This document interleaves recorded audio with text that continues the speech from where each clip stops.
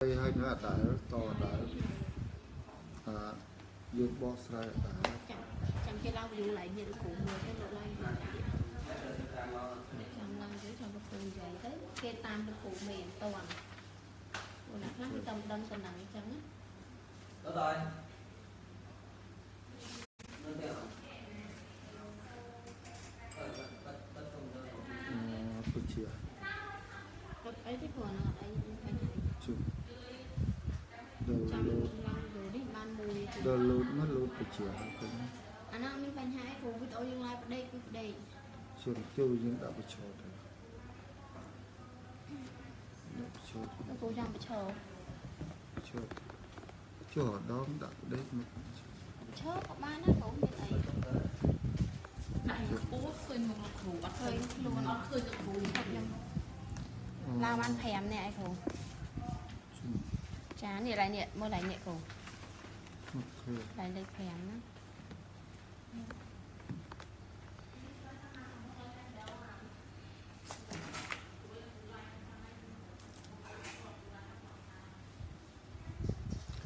គ្រូចាប់ដើម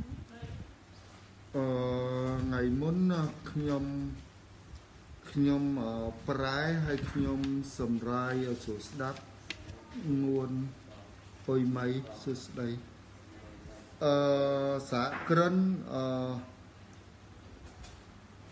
ខ្ញុំតអានេះឲ្យបើខ្ញុំប្រែហើយខ្ញុំសម្រាយហើយហើយខ្ញុំសម្រួលឲ្យស្រួលយល់អឺហើយចាំខ្ញុំបញ្យល់អឺចំណងជើងថា what is an entrepreneur តើសហគ្រិនជាអ្វីអឺយើងលើពាក្យសហគ្រិនសហគ្រិនប៉ុន្តែ យើងចង់ដឹងថាសហគ្រិនជាអ្វីអឺហើយ Robert ដកស្រង់ចេញពីនិយមន័យមួយរបស់សាស្ត្រាចារ្យអឺ Stephenson ហើយអឺអឺអរគុណអឺធីវានីសុខសប្បាយអរគុណធាលក្ខណាហើយ Robert លើកអឺលើក អំពីថានិយមន័យសហគ្រិនហើយនិយមន័យនេះមិនមែនជានិយមន័យរបស់ Robert ទេអឺគាត់អឺនិយមន័យរបស់អឺ Stevenson ជាស្រាស់សាស្ត្រាចារ្យនៅ Harvard University ហើយ Stevenson ឲ្យនិយមន័យថាអឺចិត្តរាសួស្ដី Stevenson ឲ្យនិយមន័យថាអឺសហគ្រិន សហគ្រិនភាពគឺជាវិធីគ្រប់គ្រងដោយដោយខាងក្រោមគឺការប្រដេញស្វែងរកឱកាសដោយមិនគិតពីធនធានដែលខ្លួនកំពុងមានសពថ្ងៃនិយមន័យហ្នឹងគឺមានន័យចឹងតែមកថាសម្រាប់មកមានន័យថាយើងសពថ្ងៃអត់គិតថាមានធនធានឬមានធនធានទេមានលុយឬមិនមានលុយទេមានបុគ្គលិកឬមិនមានបុគ្គលិកទេ មានផ្ទះឬមិនមានផ្ទះទេអត់គិតរឿងមានធនធាននៅក្នុងដៃទេហើយការប្រដាច់ប្រដេញរកអឺអឺការប្រដេញរកឱកាសឱកាសដើម្បីបង្កើតវិនិយោគឱកាសដើម្បីឱកាសដើម្បីបង្កើតលុយហើយការបដិញរកឱកាសហ្នឹងគឺទោះយើងមានទ្រព្យក៏ដោយ មានទុនមិនមានក៏ដោយ គឺយើងបដិញរកឱកាសបង្កើតទ្រព្យបង្កើតលុយហ្នឹង ហើយសហគ្រិនភាពគាត់ឲ្យនិយមន័យចឹងហើយ Robert ថានេះគឺជានិយមន័យដ៏ត្រចះត្រចង់ជាងគេប៉ុន្តែទោះយ៉ាងណាក៏ដោយវាវាជាជាជាឆ្អឹងសុតប៉ុន្តែទោះវាជាឆ្អឹងសុតក៏ដោយវាត្រចះត្រចង់ហើយប៉ុន្តែនៅក្នុងឆ្អឹងសុតរបស់និយមន័យហ្នឹងគឺ Robert រកឃើញពីអឺត្បូង ត្បូងត្បូងឆ្អឹងដែលរះនៅក្នុងត្បូងឆ្អឹងរបស់និយមន័យហ្នឹងហើយត្បូងឆ្អឹងហ្នឹងមានពីរប៉ុន្តែកុំអាននិយាយអាត្បូងឆ្អឹងនៅក្នុងនិយមន័យហ្នឹងអឺអឺក្នុងក្នុងនិយមន័យហ្នឹងគឺវាមានត្បូងត្បូងត្បូងណាប៉ុន្តែវាជាជាឆ្អឹងត្បូងចង់ថាចឹងហើយវាមានពីរ ឥឡូវខ្ញុំអត់តនិយាយអាពីរហ្នឹងទេខ្ញុំនិយាយអំពីចំណងជើងមួយទៀតសិនដែលជាចំណងជើងរបស់អឺអឺចំណងជើងថា the power of exclusive អំណាចរបស់លេសអឺហើយអឺ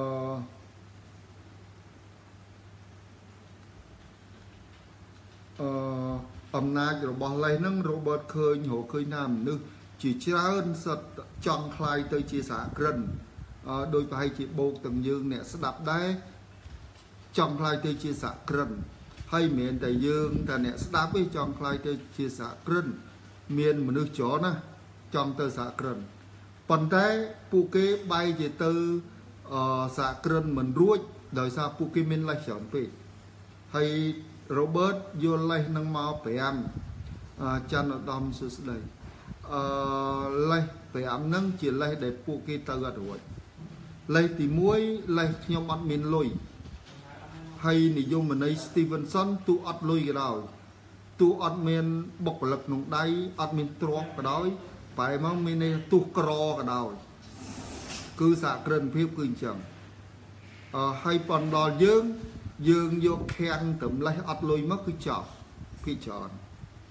ហើយអានឹងគឺប្រហែលជាច្រើនគ្នាមែនទែនអឺដល់លេះហ្នឹងវាខាំងយើងមិនអោយទៅសហគ្រិនរួចដល់សហគ្រិនវាផ្ទុយពីនឹងវិញអត់ធនធានក្នុងដៃក៏ដោយអត់លុយក៏ដោយចង់និយាយចឹងហើយមួយទៀតខ្ញុំមិនអាចបោះបង់ការងារចោលទេព្រោះខ្ញុំត្រូវមានកូនកូនអឺមនុស្សជាច្រើនគ្រួសាររាប់លានគ្រួសារអឺពេញពេញពេញកម្ពុជាមានកូន ហើយដល់គាត់មានកូនគាត់ត្រូវការចិញ្ចឹមកូនកូនចិញ្ចឹមគ្រួសារហើយរៀនគាត់យល់លេសហ្នឹងអឺយកមូលហេតុហ្នឹងថាគាត់មិនអាចទៅរកស៊ីបានទេព្រោះចំណាយទៅលើកូនចំណាយលើគ្រួសារអស់អឺ Robert ហើយ Stevenson ថាអាហ្នឹងលេសទេមិនមានមូលហេតុហ្នឹងទេអឺការដែលយើងមានកូនទើបយើងត្រូវខ្លាយទៅសហគ្រិន ការយើងមានកូនទើបយើងត្រូវខ្លាញ់អ្នកមានពីព្រោះកូនគឺជាមនុស្សជាទីស្រឡាញ់បំផុតរបស់យើងមូលហេតុដែលយើងមានកូនទើបយើងត្រូវមានទៅអ្នកមានហើយអឺយកអាមូលហេតុមានកូនមានគ្រួសារយកមកត្រួតត្រងចិញ្ចឹមកូនចិញ្ចឹមគ្រួសារជាមូលហេតុដែលធ្វើឲ្យខ្លួន ទៅជាសហគ្រិនអត់កើតនោះអានឹងឡេះហេអឺពីរឡេះ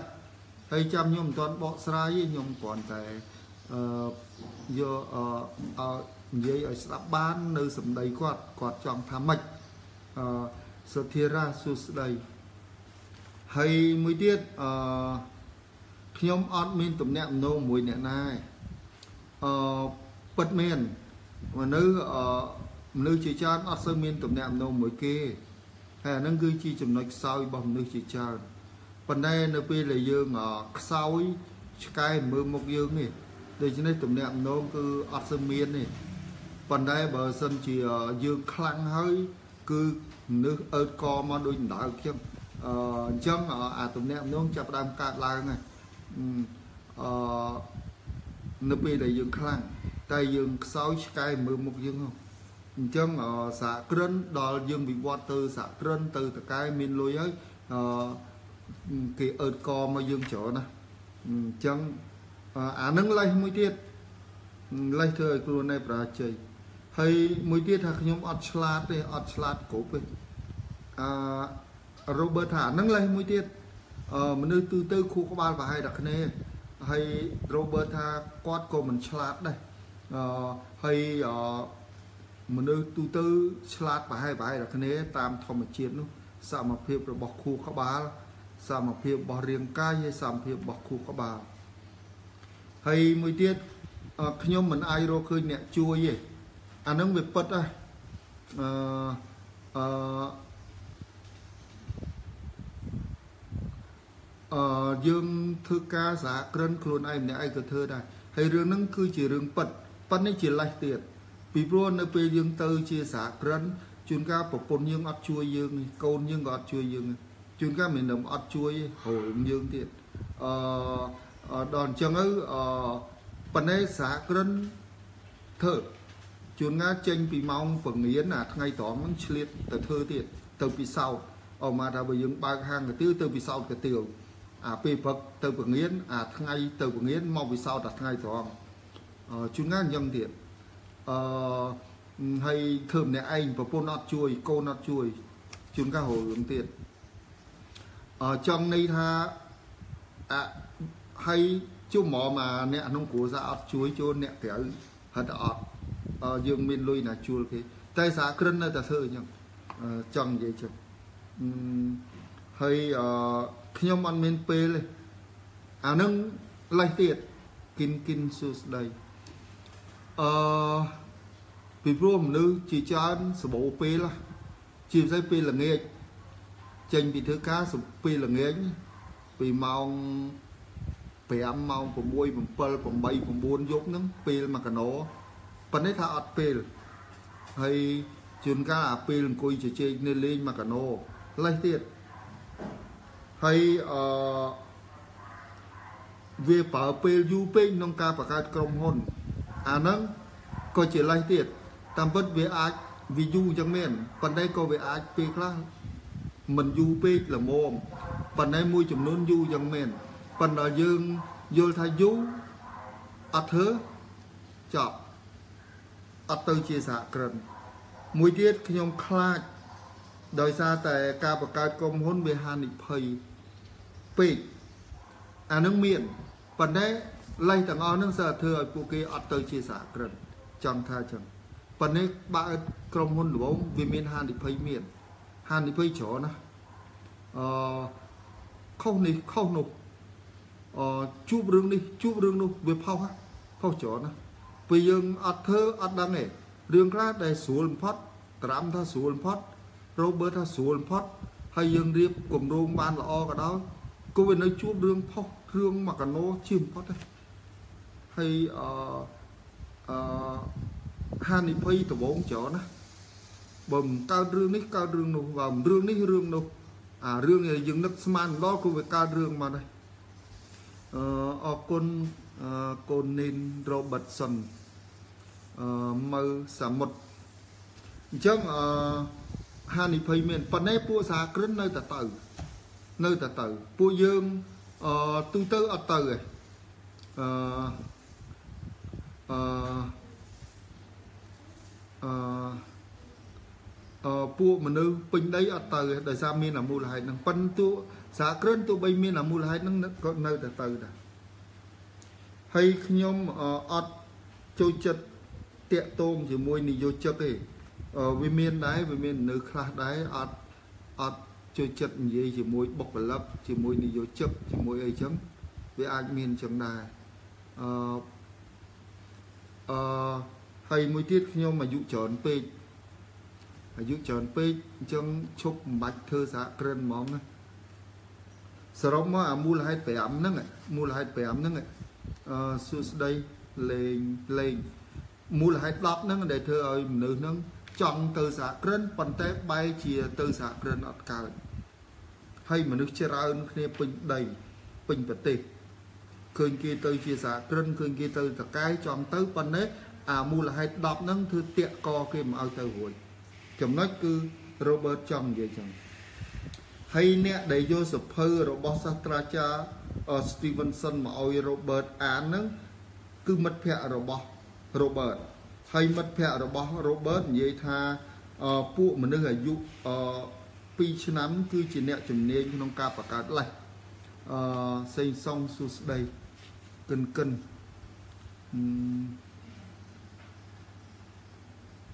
អឺ អានឹងទុកចាំឆ្លើយនេះឡើយអានេះខ្ញុំឆ្លើយសំណួរម្សិលមិញអឺសិនអឺទុកចាំហើយចាំខាងបុគ្គលិកខ្ញុំគាត់សងសំណួរមកខ្ញុំទុកឆ្លើយ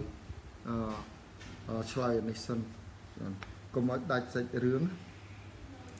លើអ្នកដែលយកអាដែងអាអាដីនិយមសភៅរបស់ Robinson មកឲ្យហ្នឹង ឲ្យ Robert ហ្នឹងអាននិយមន័យអស់ហ្នឹងគឺជា Stevenson សាស្ត្រាចារ្យនៅ Harvard University អូជាសភៅរបស់ Stevenson ឲ្យ Robert អានហ្នឹងគឺអ្នកយកមកឲ្យហ្នឹងគឺជាមិត្តភ័ក្តិរបស់ Robert ហើយមិត្តរយៈភ័ក្ររបស់ Robert ពេលឲ្យសភៅនឹងទៅ Robert អាននិយាយថាមនុស្សដែលមានអាយុ2ឆ្នាំសបោលេសហ្នឹងណាទីនេះមិនមែនចង់និយាយ2ឆ្នាំមែនទេទេអឺ2ឆ្នាំមិនតន់ចេះនិយាយណាអឺ មនុស្សដល់2ឆ្នាំនេះចង់និយាយអឺ2ឆ្នាំខាងប្រលឹងអឺមុខចាស់រូបរាងចាស់តែប្រលឹងកូនក្មេងប្រលឹងហិរញ្ញវត្ថុនៅក្នុងខ្លួនមនុស្សវាមានមនុស្សម្នាក់ទៀតគឺប្រលឹងអាមនុស្សម្នាក់ទៀតនៅក្នុងខ្លួនយើងនឹងមើលមិនឃើញទេអត់រូបអត់រាងទេគឺប្រលឹងហើយអាប្រលឹងហ្នឹងគឺនៅកូនក្មេងអឺកូនក្មេងខាងហិរញ្ញវត្ថុ សាច់ឈាមខាងក្រៅមុខខាងក្រៅវាចាស់តែកូនក្មេងខាងហិរញ្ញវត្ថុព្រលឹងហ្នឹងហើយពួកម៉ាក់ Robert ធៀបទៅនឹងអាយុ2ឆ្នាំអឺចំនិយាយពួកមនុស្សចាស់ចាស់ពេញដីបូកទាំងពួកយើងឯមិនហ្នឹងពួកយើងកំពុងស្ដាប់ឯហ្នឹងពួកចាស់ចាស់ពេញដីពេញពេញពេញកម្ពុជាហ្នឹងអឺទុកដូចជាកូនក្មេងខាងហិរញ្ញវត្ថុអឺហើយអឺសបោលេះ ដល់ពួកគេហាងចាស់ទុំខាងហិរញ្ញវត្ថុគេអត់មានយកលេសនឹងមកប្រើហើយហើយពួកគេទៅជាសហគ្រិនហើយអ្នកដែលសបោលេសហ្នឹងគឺកូនក្មេងខាងសហហិរញ្ញវត្ថុហ្នឹងពេញដីហ្នឹងអត់ទៅជាសហគ្រិនរួចទេដោយសារអាលេស10យ៉ាងហ្នឹងវាតាក់គេមកឲ្យងើបរួចចង់និយាយចឹងហើយមួយទៀតតើសហគ្រិនផ្សេងទៅវិញមិនឥឡូវវា វាមានត្បូងពេជ្រពីរគ្រាប់ដែលរះនៅក្នុងនិយមន័យរបស់សាស្ត្រាចារ្យ Stevenson ហ្នឹងអឺត្បូងពេជ្រពីរគ្រាប់អឺតាមពិត3គ្រាប់ប៉ុន្តែតាមពិតអឺសមិញខ្ញុំឲ្យតែ2គ្រាប់ទេ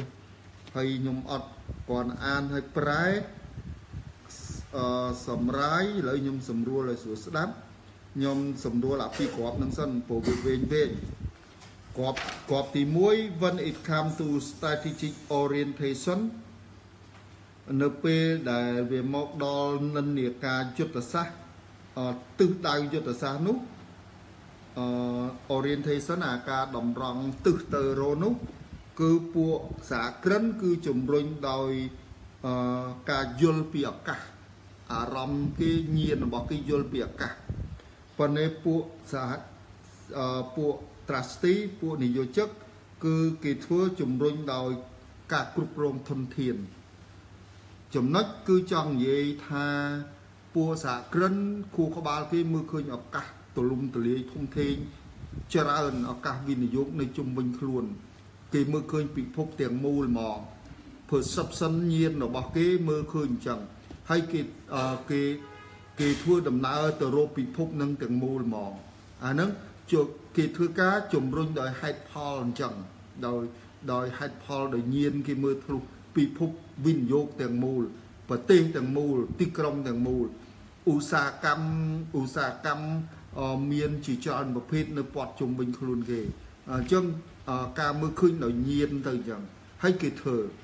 ប៉ុន្តែអឺទោះបីមានលុយមិនមានក៏ដោយមានទុនមិនមានក៏ដោយ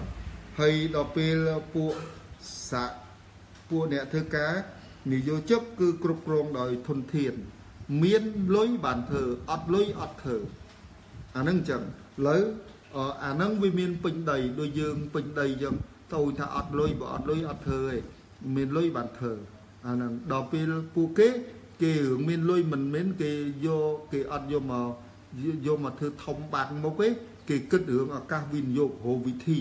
គេមើលឃើញច្រើនហើយគេរកវិធីបង្កើតឱកាសវិនិយោគហ្នឹងអឺយមបរាសួស្ដីលេងស៊ីនឿនសួស្ដីហើយអឺអញ្ចឹងគាត់បញ្យល់អាហ្នឹងអឺម្យ៉ាងវិញទៀតសហគ្រិនជានិច្ចការរកឱកាសដោយមិនគិតអំពីធនធានដែលខ្លួនឯងមានអានឹងខ្ញុំបញ្យល់ហើយ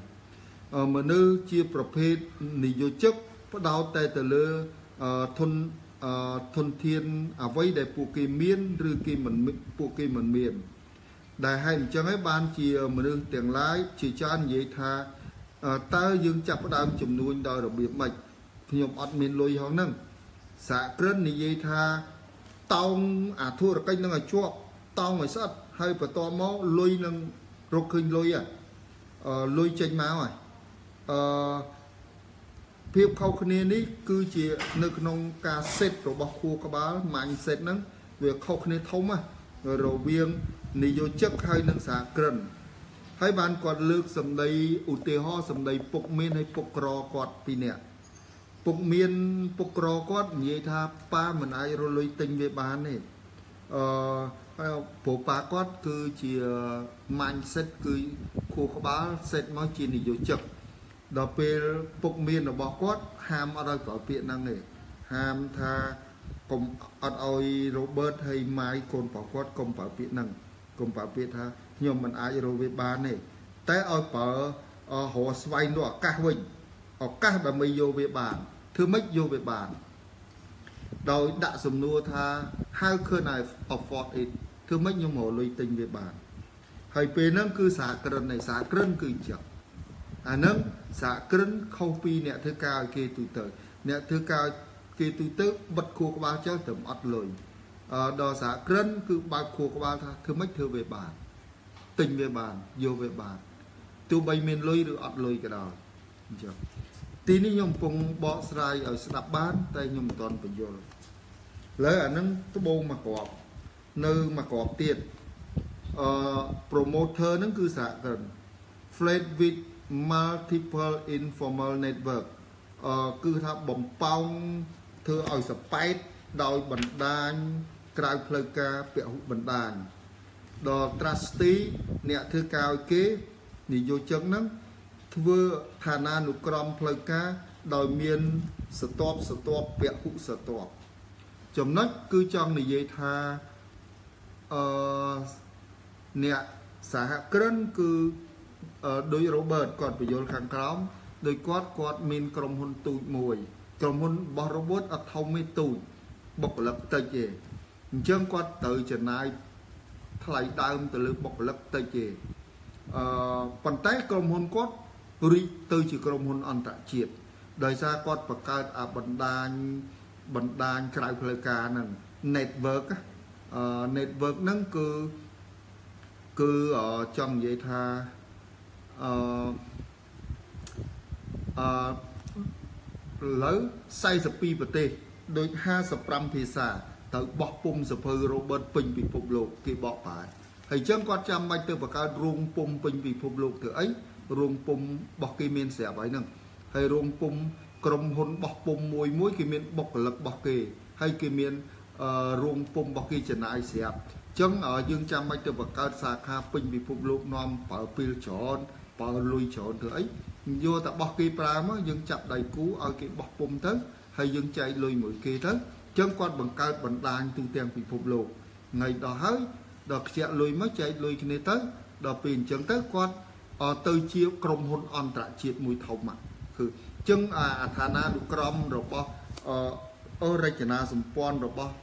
អឺម្ចាស់ក្រុមហ៊ុនរបស់ Robert គឺខាងក្នុង គ្នាតិចទេបុគ្គលិកគ្នាតិចទេ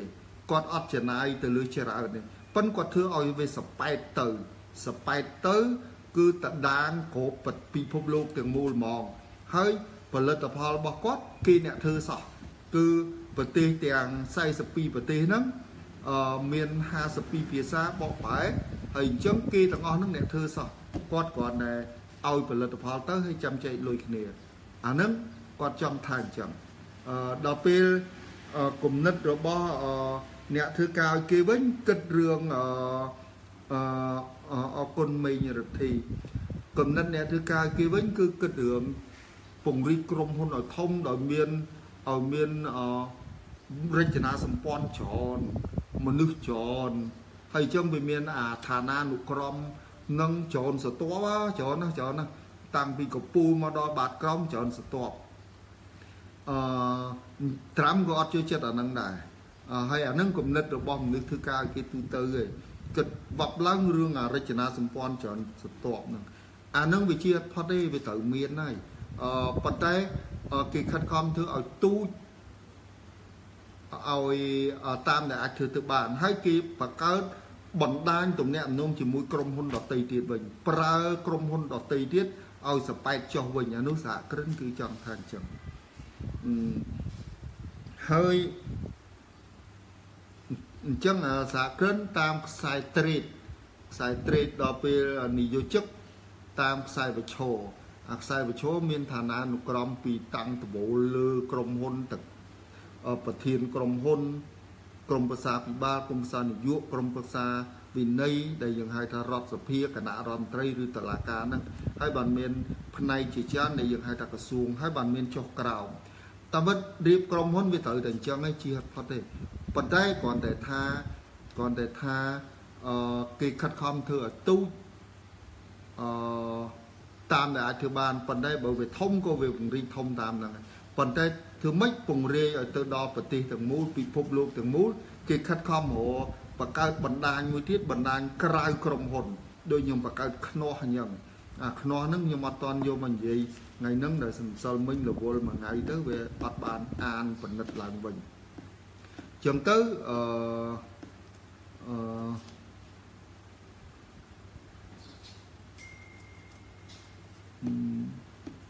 អឺអរគុណ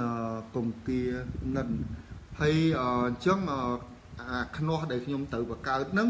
គឺក៏ក៏អាហ្នឹង informal network ឯបណ្ដាញក្រៅផ្លូវការដែលខ្ញុំធ្វើដូច Robert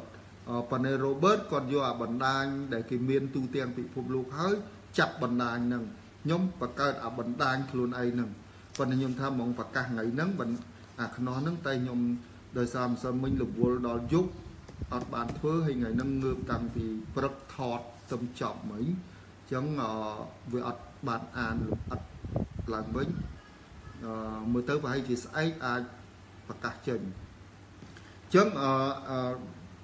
ភាពខុសគ្នារវាងសហគ្រិនគឺអឺហើយនឹងនយោជិកនយោជិកបើចង់បង្កើតក្រុមហ៊ុនគិតតែរៀបតំណែងតំណែងតំណែងតំណែងទៅហ្មងអញ្ចឹងណានោះសហគ្រិនគេខិតខំអឺធ្វើម៉េចឲ្យក្រុមហ៊ុននឹងតដាងទូទាំងប្រទេសទូទាំងពិភពលោកសប៉ែតទៅអញ្ចឹងណាហ្នឹងអញ្ចឹងអឺអានឹងខ្ញុំលើកឧទាហរណ៍ប៉ុណ្ណឹងអឺ នៅត្បូងពេជ្រទី3អានឹងនៅវែងទុកនិយាយស្អែកឥឡូវខ្ញុំធ្វើអត្ថាធិប្បាយបន្តិចបន្តួចអឺចំណងជើងដាក់ what is an entrepreneur តើសហគ្រិនជាអ្វីអឺបើសហគ្រិនអឺចំណុចចង់និយាយពីសហគ្រិននេះតើយើងលើពាក្យសហគ្រិនសហគ្រិនហ្នឹងហើយតើគាត់នឹងជាស្អី ចង់ថាចឹងហើយដល់ចឹងត្រូវធ្វើការប្រៀបធៀបរវាងសហគ្រិននិងនិយោជិកហើយដើម្បីធ្វើការយល់ពីសហគ្រិនគឺ Robert យកយកយកអាដេងនិយមន័យ Stephenson សាស្ត្រាចារ្យនៅ Harvard University ហើយគាត់ថានឹងគឺជានិយមន័យដ៏ល្អជាងគេបំផុតហើយទោះបីជាជាជាជាត្បូងឆ្អឹងក៏ដោយឆ្អឹងត្បូងក៏ដោយវាអត់មានសាច់អត់មាន ឈាមអត់មានទឹកក៏ដោយក៏វាល្អជាងគេបំផុតហើយគាត់យកបកស្រាយយមន័យហ្នឹងគឺអសម្រាប់សហគ្រិនអត់មានលេសទេសម្រាប់អនិយោជិកគឺអ្នកធ្វើការគេពេញដោយដោយលេសហើយ the power of less អំណាចរបស់ less the power of issues អាតនឹងពួកពួកគាត់អត់ទៅជាសហគ្រិនរួចទេអានឹងមួយ ហើយលេសមានមាន10លេសដែលខ្ញុំឲ្យខាងលើហ្នឹងអឺហើយអឺប្រហែលជាយើងអឺអឺអានឹងបាទជំរាបសួរ Noisy Nan អឺ Thelken ខ្ញុំមានសំណួរមកដុំទុកមិនដល់មិញហើយចាំឆ្លើយហើយទុកថ្ងៃនេះទៀតចឹងទុកអានេះចង់ចង់និយាយចប់ខ្ញុំនិយាយហើយអឺ កុំឲ្យដាច់សាច់រឿងអឺខ្ញុំលើកឧទាហរណ៍អឺពួកសហគ្រិនជោគជ័យធំធំជាច្រើនច្រើនវិវត្តចេញពីអត់លុយទេអឺទាំងសហគ្រិននយោបាយទាំងសហគ្រិនសេដ្ឋកិច្ចសហគ្រិនពាណិជ្ជកម្មអឺសហគ្រិនអ្នកនយោបាយមួយផ្នែកគឺពួកគាត់អឺខ្លះរហូតដល់ដេកអត់ផ្ទះនៅដេកក្រោមស្ពានដេកតាមស្យាផ្ទះគេដោយបេនីតូម៉ូសូលីនី ចុងទីបំផុតគាត់មានងាប់ណាស់ហើយគាត់ទៅជាអ្នកប្រាជ្ញហើយឡើងដឹកនាំរដ្ឋទៅហើយដោយអាដូលីក្លៀអឺកម្មករសំណង់កម្មករតេភ្លើង កម្មករបោះសម្រាមតាមខ្នល់ប៉ុនសម្រាមនៅស្រុកអាល្លឺម៉ង់គឺគឺគឺបោះតកកបោះតកកហើយនឹងស្រោចផ្កាតាមផ្ទះគេហើយធ្លាក់ខ្លួនមែនទែនសុំទៀនគេប៉ុនគាត់មានងំណាប៉ុនដល់ចុងទីបំផុតគាត់ទៅជាអ្នកប្រាជ្ញ ទៅជាអ្នកប្រាជ្ញហើយទៅជាប្រមុខរដ្ឋអាល្លឺម៉ង់អានឹងខ្ញុំនិយាយសហគ្រិននយោបាយមានច្រើនណាដោយអាយ៉ាតូឡាខូមីនីកូនកំព្រាសាធារណរដ្ឋអ៊ីរ៉ង់ទៅជាអ្នកប្រាជ្ញទៅទៅរដ្ឋបរោះអាល្លឺម៉ង់អូអ៊ីរ៉ង់ដោយបណ្ឌិតស៊ុនយ៉ាត់សេនអឺអឺដូចជាម៉ៅសេតុងដោយហូជីមិញអឺដូចជាមហាថ្មគុន្ធីដោយអាប់រ៉ាហាំលីនកុន ដូចជាណាប៉ូឡុងម៉ារីកដូចជាសប្ងៃហ្នឹងវ្លាឌីមៀពូទីននៅរុស្ស៊ីសប្ងៃហ្នឹងប្រធានាធិបតីរុស្ស៊ីសប្ថ្ងៃហ្នឹងអសហគ្រិនសេដ្ឋកិច្ចពាណិជ្ជកម្មដូចជាជេកម៉ាដូចជាកាឡូស្លីមគាត់បើបន្តិចគ្រូបង្រៀនជេកម៉ាយ៉ាប់មែនទែនដូចជា Steve Jobs ដូចជា Michael Dell លាងចានតាមហាងដេក មនុស្សដែលគេបោះចោលតាមសម្រាមតាមអីចឹងអឺពួកគាត់វេទនាប៉ុន្តែពួកគាត់មានងាប់ណាស់ហើយចុងទីផុតពួកគាត់ធ្វើបានជោគជ័យពួកគាត់ធ្លាក់ខ្លួនដាច់បាយសុំទៀនគេមានដោយ Robert ធ្លាក់ខ្លួនមែនទែនគឺមួយថ្ងៃហូបបាយម្ដងមួយពេលហូបតែម្ដងមួយថ្ងៃហូបតែមួយពេលទេអានឹងធ្លាក់ខ្លួនមែនទែនហើយពួកគេនៅតែជោគជ័យអញ្ចឹងអឺអានឹងលេះអត់លុយឥឡូវ ខ្ញុំនិយាយថាចឹងបានលុយពីណាឥឡូវខ្ញុំឲ្យសាច់ពីររឿងពីពីសាច់សាច់ទី1គឺអឧទាហរណ៍អឺយើងចិញ្ចឹមជ្រូកមានចិញ្ចឹមត្រីមានអស់លុយអីប្រហែលចិញ្ចឹមត្រីដាក់ត្រីមួយក្បាលសាក់ពិសោធន៍មើលត្រីរស់ត្រីស្ដោត្រីក្រាញ់ត្រីដណ្ដែងកុំចិញ្ចឹមត្រីកុំចិញ្ចឹមច្រើនចិញ្ចឹមច្រើនគ្រប់គ្រងអត់បាននេះ ចិញ្ចឹមមួយក្បាលយើងរលុយទិញអត់មានហើយផ្ទះយើងស្តុកសុកសុកខ្សែពេញដីគៀនគៀនផ្ទះហើយពិសោធន៍ទៅវាពោម្ដងប្រហែលម៉ឺនហើយបានប្រហែលពាន់កូនម៉ឺនកូនអញ្ចឹងយើងដឹងបាត់អត់អស់លុយហើយដឹងអស់ចំណៃប៉ុន្មានដឹងបានកូនប៉ុន្មានជួបបើយើងដាក់10000ត្រីយើងមិនដឹងបានដឹងចំនួនចំណៃអស់ដឹងចំនួន កូនវាពង្រីកបានប្រមាណលានហើយយើងសិក្សាទី1យើងដឹងប្រមាណខែបានហើយយើងដឹងថាជីវសាស្ត្រវាទៅរស់ជីវវិទ្យារបស់វារស់បែបម៉េចយើងពេលធ្វើបដៅយើងសិក្សាបដៅហើយពេលដល់វាពង្រីកមួយឆ្នាំពីរមកអាលៀនកូននោះវាទៅជាលៀនត្រីទៅជាដើមទុនបាត់ខ្ញុំលើកឧទាហរណ៍ចឹងហើយមនុស្សមកប្រទេសហូបត្រីទាំងអស់ហើយអានេះដើមទុនវិវត្តតាមធម្មជាតិ ហើយអញ្ចឹងអឺមនុស្សមកប្រទេសហូបទាំងអស់រាប់លានមាត់អឺរាប់លានឆ្នាំមុនហូបលើហូបទៅរាប់លានឆ្នាំក្រោយវានៅតែហូបនៅសល់យើងធ្វើបានអត់ចាក់បញ្ចូលទៅឲ្យសង្គមទាំងមូលដូចជាចាក់អំបិលទៅក្នុងសមុទ្រចឹងសមុទ្រមួយចាក់អត់ចេះពេញជ្រូកក៏ដែរអានឹងខ្ញុំអាសាលើកឲ្យមន់ក៏ដែរប៉ុន្តែតែត្រីវាសាយកូនលឿនជាងអឺវាវារៀងពិបាកគ្រប់គ្រងជាង តែសាយកូនលឿនជាង ហើយអត់សូវជំងឺជាងអាត្រីណាដែលវាសវោជំងឺកុំយកអាត្រីក្រាញ់ត្រីដៃត្រីផ្ទុកត្រីស្ដោនេះរស់មិនក៏រស់ដែរក្នុងផុកក៏វារស់ដែរអឺចឹងអឺវាធន់នឹងជំងឺអឺប៉ុន្តែកុំយកអាពូជពូជអាដៃអាហ្វ្រិកហើយដៃវៀតណាមដៃអីកុំយកយកអាដៃធម្មជាតិមួយមកមើលយកអាស្ដោរស់ធម្មជាតិមកអឺហើយហើយយើងតែមួយឆ្នាំទៅយើងមិនបាច់មានលុយណាពង្រីកដើមទុន អាហ្នឹងគឺទៅជាដើមទុនរបស់យើងរាប់លានត្រីរាប់លានត្រីត្រីមួយ1ដុល្លារយកមកគុតគង់សង្គមទាំងមូលមិនរាប់លានដុល្លារ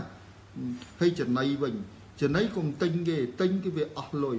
បកកើតចំណៃបកកើតចំណៃទៅអឺចំណៃហ្នឹងអឺយកមកផ្គត់ផ្គង់ឲ្យអឺបកកើតត្រីត្រីត្រីកភ្លេងងាយងាប់ឯត្រីកភ្លេងក្នុងផុកក៏ដោយ ចិញ្ចឹមស្រះមួយបើកើតត្រីកភ្លេងហើយវារីកកូនពេញស្រះពង្រីកទៅជាក្លាក់ចំណីអញ្ចឹងហើយក្រៅពីនឹងយើងមានចំណីស្ដាំស្រូវទៅធ្វើកសិដ្ឋានមួយបង្កើតចការស្រូវហើយទិញម៉ាស៊ីនមួយ កិនស្រូវនឹងឲ្យទៅជាកតុទៅស្រូវថោកថោកយើងកិនសម្រាប់ឲ្យទៅជាចំណីត្រីចំណីបកងអីទៅអញ្ចឹងហើយយើងសិក្សាមួយច្បាស់ហើយវិវត្តទៅរកបកងកធាយក៏កាន់តែងាយទៀត ជីវសាស្ត្រវាអត់សូវខុសគ្នាហ្មងទេសិក្សាមួយច្បាស់វិវត្តទៅអាមួយដទៃទៀតអញ្ចឹងខ្ញុំលើកឧទាហរណ៍វាមានរឿងច្រើនតែខ្ញុំចូលចិត្តលើកឧទាហរណ៍ហ្នឹងដោយសារទីផ្សារវាត្រូវការរហូតត្រីធម្មជាតិហើយចាក់វាអត់ចេះពេញមានប្រមាណលានត្រីក៏ចាក់ទៅអស់ដែរហើយអឺទីផ្សារវាអត់ចេះវាវាមានរហូតរាប់លានឆ្នាំហើយរបស់ដែលស្រួលធ្វើជាងគេហើយរបស់ដែលប្រើទុនតិចជាងគេ ហើយអញ្ចឹងយើងវិនិយោគអានឹងបានហើយយើងពង្រីកទៅបើមួយលានត្រីត្រីមួយ1ដុល្លារមួយលានត្រីមិន1លានដុល្លារហើយបើសិនជាយើងធ្វើបានហើយយើងពង្រីកទៅជាកសិដ្ឋានមួយធំហើយយើងប្រើអា cash flow លុយហ្នឹងទៅលំមៀលខ្លួនចូលក្នុងអចលនទ្រព្យអចលនទ្រព្យគឺជាវិនិយោគដ៏ល្អដាច់គេជាងគេអញ្ចឹងអឺកើតមានបានច្រើនជាងគេហើយមានហានិភ័យទៀបជាងគេ អានឹងក្នុងករណីយើងចេះក្នុងវិជាអចលនទ្រព្យបើយើងអត់ចេះអានឹងក៏ហានិភ័យច្រើនដែរអញ្ចឹងអញ្ចឹងសរុបសហគ្រិនខិតខំរកវិធីចឹងវិធីចឹងដូចខ្ញុំអឺខ្ញុំខំរកវិធីថាធ្វើម៉េចមើលធ្លុះអំពីវិបត្តិហិរញ្ញវត្ថុមនុស្សមកប្រទេសសឹងទាំងអស់សិតតែមានជំងឺហិរញ្ញវត្ថុគ្រប់គ្រួសារគ្រប់គ្នាហើយរាប់លានកូនកូនយើងចំនួនក្រោយហ្នឹងក៏ទទួលអាមរតកជំងឺហិរញ្ញវត្ថុហ្នឹងផ្ទេរ ពីយើងទៅឲ្យកូនកូនយើងគ្រប់គ្នាទៀតហើយជំងឺហ្នឹងឈឺចាប់យើងគ្រប់គ្រួសារហើយទៅឈឺតកូនយើងទៀតថ្ងៃអញ្ចឹងខ្ញុំរកវិធីថាធ្វើម៉េចរកមើលឃើញអឺមើលឃើញបញ្ហាហើយបកហោផលិតផលដើម្បីយកមកដោះដោះបានទាំងខ្លួនឯងហងដោះបានទាំងសង្គមហងអញ្ចឹងត្រូវខំបង្កើតផលិតផលហ្នឹងអញ្ចឹងទោះបីអឺ ហូបអត់ហូបក្លៀនទោះបីរងទុកសោកលងាឯកោម្នាក់ឯងក៏ខ្ញុំនៅតែធ្វើរកឱកាសធ្វើធ្វើអស់10ឆ្នាំ Robert អស់5ឆ្នាំខ្ញុំចាប់ដើមចេញដើរតួឥឡូវដើរតួឥឡូវគឺជាគឺជាលទ្ធផលដែលធ្វើការអស់10ឆ្នាំមួយ Robert 5ឆ្នាំអស់ត្រាក់មួយត្រាំអញ្ចឹងខំរកឱកាសហើយពេលខ្ញុំនៅក្នុងបន្ទប់ពងៀនហ្នឹងដូចជាប់គុកអញ្ចឹងគឺថាខ្លួនកុហលកាហាយអត់ចង់នៅទេ គឺដូចផ្ទះសានៅមកព្រឹកព្រឹកដូចជាប់គុករាប់ឆ្នាំអញ្ចឹងបើទៅកែមកទៅកែវិញ្ញាសាទៅធ្វើវិញ្ញាសាតែ1ម៉ោង2 3ម៉ោងហ្នឹងគឺដូចជាប់គុកវេទនាក្នុងខ្លួនចឹងអឺបើសហគ្រិនគឺអាហ្នឹងសហគ្រិនបើអ្នកធ្វើការឲ្យគេគឺសបាយនៅអាកន្លែងហ្នឹងហ្មង គឺទៅអង្គុយសបាយធ្វើអាហ្នឹងហ្មងពេញចិត្តអញ្ចឹងចង់និយាយថាសហគ្រិនគឺអឺគិតរកឱកាស អត់មានយកអាមិញអស់មិញយកឡេះទេអឺហើយរឿងដែលយើងមានកូនគឺជារឹតជាភ្លើងកំហឹងភ្លើងដុំភ្លើងមួយធំទៀតដែលយើងត្រូវតែខំដើម្បីឲ្យកូនយើងអឺយើងដឹងថាខ្លួនយើងជាប់គុកគុកអត់អញ្ចឹងមកមកប្រទេសទទួលទរណកម្មជីវិតមកជីវិតតាំងពីថ្ងៃធ្វើការរហូតដល់ថ្ងៃងាប់ ទរណកម្មនឹងធ្វើបាបជីវិតយើងចង់ងាប់នៅក្នុងគុកការិយាល័យហើយយើងត្រូវមានកូនដើម្បីកុំឲ្យកូនចូលទៅក្នុងគុកហ្នឹងចូលក្នុងគុកហ្នឹងជាមូលហេតុដែលយើងខំត្រូវប្រឹងមួយទំហឹងប្រឹងមួយទំហឹងអឺគឺអឺគឺដើម្បីឲ្យកូនយើងកុំឲ្យចូលក្នុងគុកគុកនឹងដូចយើងហើយរបៀបចំណាយគឺត្រាំឲ្យចាយ25% អឺបើទៅលើថ្លៃផ្ទះហើយ25%ហូបសល់50%សំសំទៅធ្វើឲ្យអស់ហ្នឹងហើយអាហ្នឹងឱកាសរមៀលខ្លួនបើមួយខែបានដូចទាថាបាន200ឬក៏បាន200យើងត្រូវចាយអស់100ទុកតែ100បាទទុក100ហើយ100ច្រើនដងអ្នកខ្លះបាន500ទុក250ចាយត្រឹមតែ250អានឹងរូបមន្តដូណាល់ត្រាំ បើរូបមន្តរបស់ The Richest Man in Babylon កំពូលអ្នកមាននៅបាប៊ីឡោនឲ្យទុក10%បានហើយហើយ10%ទៅទុកបាន5ឆ្នាំ10ឆ្នាំហ្នឹងហ្មងហើយត្រាំឲ្យទុក50% 50% 5ឆ្នាំ10ឆ្នាំហ្មងវាទៅជាទុនរស់ស៊ីបាត់សំខាន់ដុសខាត់ខួរក្បាលសិនវិនិយោគក្បាលសិនអាទុនហ្នឹងយើងចាប់ប្រម៉ូតបន្តបន្តហើយហើយបានវិនិយោគអាទូទូដែលយើងអាចធ្វើទៅរួចហើយពង្រីកអាទូហ្នឹងទៅធំមក ទៅអាធំហើយបានទៅបង្កើតយានវិនិយោគមួយទៀតអាហ្នឹងក្បាលសហគ្រិនគេមើលអញ្ចឹងប៉ុន្តែគេមើលអញ្ចឹងដល់គេឃើញវិស័យវិនិយោគច្រើនជុំវិញខ្លួនជួបបើក្បាលយើងល្ងិតឆឹងមើលអត់ឃើញអស់អាហ្នឹងអញ្ចឹងហើយដល់ក្បាលអ្នកសាកគ្រិនមើលឃើញជុំវិញអញ្ចឹងទៅច្រើនរឿងណាខ្ញុំលើកមន់លើកត្រីលើកបកងអីហ្នឹងជាមប្រពេកធាយអណ្ដើ កអណ្ដើកអត់បានទេអឺជាមអីហ្នឹងប្រៀបប្រៀបថ្លៃយកងាប់ឆ្ងាញ់ប្រៀបអីគេប្រៀបតៃវ៉ាន់ទីផ្សារដាក់ថ្លៃយើងធ្វើចិញ្ចឹមឲ្យបានច្រើនហើយកុំថ្លៃមើលលក់ឲ្យថោកល្មមមើលហូបឆ្ងាញ់យកងាប់បបោប្រៀបប្រៀបដុតអីមិនអញ្ចឹងយើងអង្គុយសម័យរកផលិតផលឲ្យខ្លួនឯងទើបទៅមានហើយចេញពីអាចំណុចណាមួយដែលយើងអាចធ្វើទៅបានអឺ ដូចរៀនរៀននេះគឺយើងអត់ប្រើលុយប្រមាណទេដូចខ្ញុំខ្ញុំគ្រាន់អង្គុយអានទេគ្រាន់តែវេទនា10ឆ្នាំម្នាក់ឯងអញ្ចឹងគ្រាន់តែអញ្ចឹងប៉ុន្តែយើងអត់មានបិទចិត្តដោយអាលេស10ហ្នឹងទេបើអាលេស10ហ្នឹងបិទចិត្តគឺអត់ធ្វើរឿងហ្នឹងបានទេហើយសហគ្រិនអឺអត់មានអាលេសហ្នឹងយកមកពាំងមុខទេអឺដោយ Henry Ford ហ្មមហៅបង្កើតឡាន Ford បានជួលផ្ទះគេរាប់ភ្លេចអឺ គាត់អត់លុយគាត់រស់នៅផ្ទះជួលហើយគាត់អឺហ្មមតារាប់ឆ្នាំហើយ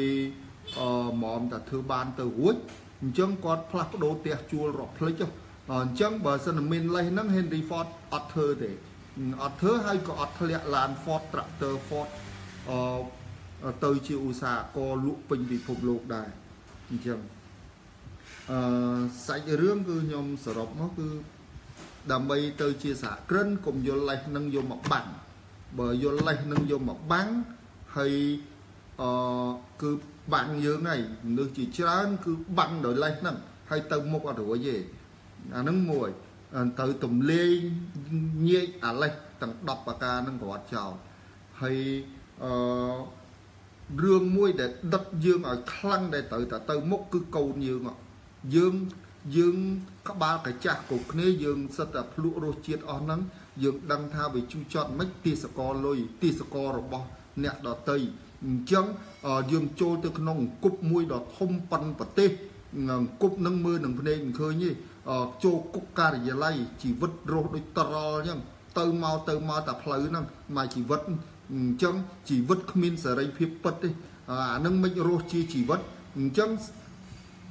កំសួលធំរបស់សហគ្រិនគឺកូនគេអញ្ចឹងកូន គឺជាដុំស្នួលដុតគេឲ្យទៅទៅមុខហ្មង ថាជីវិតយើងវាអកុសលធ្លាក់ខ្លួនអញ្ចឹង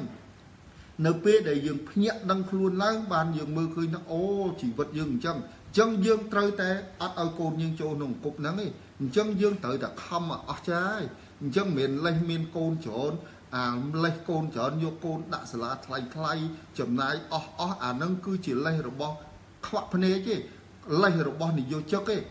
លេះរបស់សហគ្រិនអត់មានអាហ្នឹងទេអញ្ចឹងខ្ញុំសរុបមកនិយាយតែប៉ុណ្្នឹងចុះហើយមួយទៀតឥឡូវខ្ញុំធ្វើអឺធ្វើចម្លើយសួរខ្ញុំចុះបើសុំទិញមេរៀនយកដាក់ក្នុង YouTube របស់ខ្ញុំគិតយ៉ាងណាអត់ទេអត់បានទេ ពីព្រោះបើបាក់ដាក់ក្នុង YouTube ដល់ខ្ញុំបិទសាលាគេចូលមើល YouTube អស់ទៅខ្ញុំបិទសាលាហ្មងអាហ្នឹងអាហ្នឹងខ្ញុំឆ្លើយទី1អឺអឺអឺអូខេសឿនវុធីអរគុណអានបូរិនបូរិនអរគុណហើយចង់ឲ្យលោកគ្រូនិយាយពីប្រវត្តិ Robert Kiyosaki ខ្ញុំនិយាយម៉ាត់ពីឯងព្រោះខ្ញុំនិយាយនៅក្នុងសភើ Rich Dad Poor Dad ហើយនឹង cash flow quadrant ហើយហើយចឹងកែងអឺគាត់និយាយថាគាត់គឺមានឪពុក2ឪពុកមួយឪពុកបកើតឪពុកមួយពុកធរហើយពុកបកើតហ្នឹងគឺអ្នកក្រឯងហើយគាត់តារបស់គាត់មកជនភៀសខ្លួនមកពីស្រុកជប៉ុន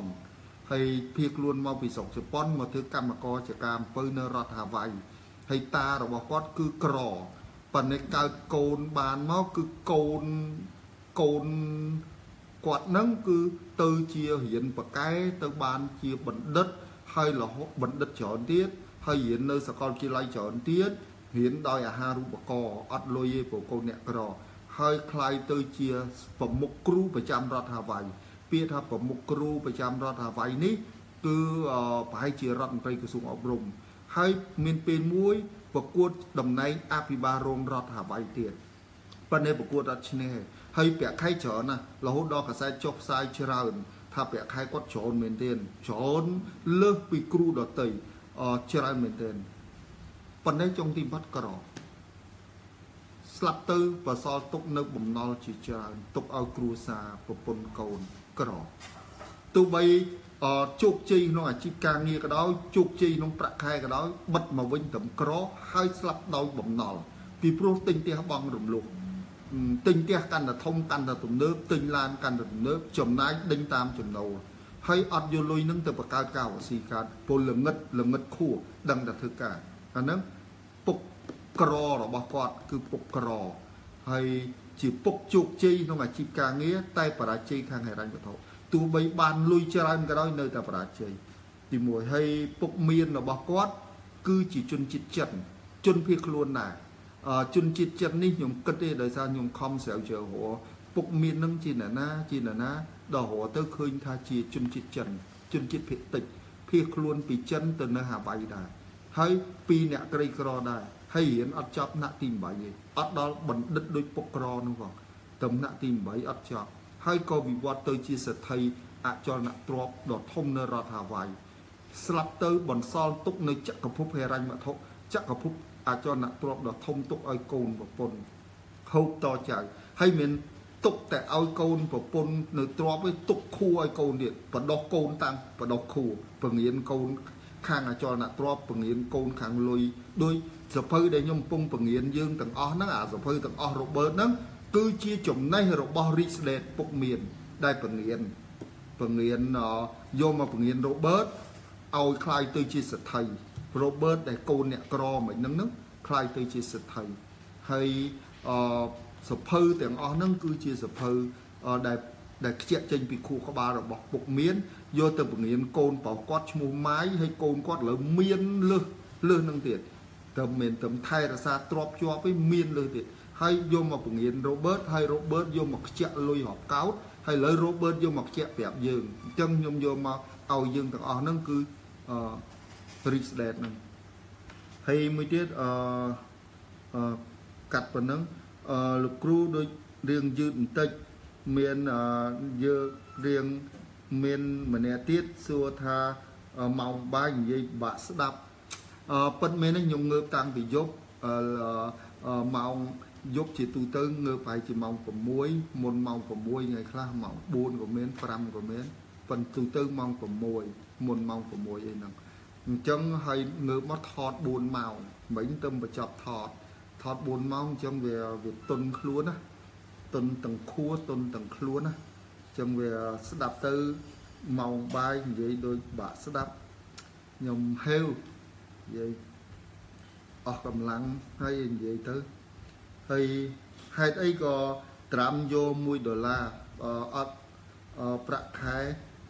ហេតុអ្វីដូណាត្រាំមិនយកប្រាក់ខែ40ម៉ឺនយក1ដុល្លារអា40ម៉ឺនខ្ញុំមិនដឹងទេប៉ុន្តែអា1ដុល្លារជាទូទៅគឺដូច Bill Gates យក1ដុល្លារអឺត្រាំយក1ដុល្លារខ្ញុំមិនច្បាស់ទៀតដូចមានអ្នកខ្លះទៀតយកតែ1ដុល្លារអឺត្រង់ថាអឺយក យកហេតុអីគេយក1ដុល្លារខ្ញុំអត់ដឹងពីបំណងគេប៉ុន្តែខ្ញុំគិតទេអឺពួកមនុស្សអស់នោះគឺអត់ចង់ផ្ដាច់ឈាមរបស់ខ្លួនពីពីអឺពីពីព្រោះពួកមនុស្សអស់នោះច្រើនងើបចេញពីភក់ងើបចេញពីការតស៊ូពីវេទនាអញ្ចឹងអឺ1ដុល្លារគឺជាប្រាក់ខែប្រាក់ខែតំណាងឲ្យនយោជិក គេអត់ផ្ដាច់ខ្លួនគេពីនយោជិកទេអត់ផ្ដាច់កំណើតរបស់ខ្លួនឯងទេកំណើតរបស់ខ្លួនឯងចេញពីណា ចេញពីភក់ចេញពីភាពវេទនាគេអត់ផ្ដាច់អឺដើម្បីឲ្យញៀនរបស់ខ្លួននៅតែយល់ខ្លួនឯងជាគឺជាបុគ្គលិកមួយរូបក្រៅពីថកែមួយរូបគឺជាបុគ្គលិកមួយរូបរបស់ក្រុមហ៊ុនគេជោគជ័យមិនជោគជ័យនៅលើបុគ្គលិកមួយផ្នែកធំអញ្ចឹង